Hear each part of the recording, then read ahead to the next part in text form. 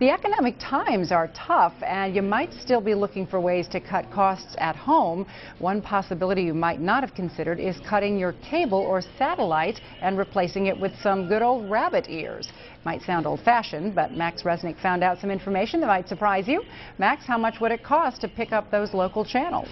Melissa, it would cost you a one-time fee of between 10 and $40 for those rabbit ears. And that one-time fee could provide you all the TV you're looking for.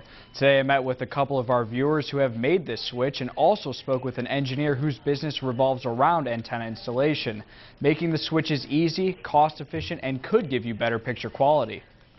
There are people that really enjoy having that, you know, huge, vast array of channels, but I just didn't find the value in it when you have over 100 channels and you still can't find things to watch. Picture quality is the best you can possibly get in any broadcast uh, platform. It's better than cable, it's better than small dish, and uh, uh, it's virtually uncompressed. So how could someone living in Fort Wayne benefit from this? Well, in Fort Wayne, we have about 20 local channels.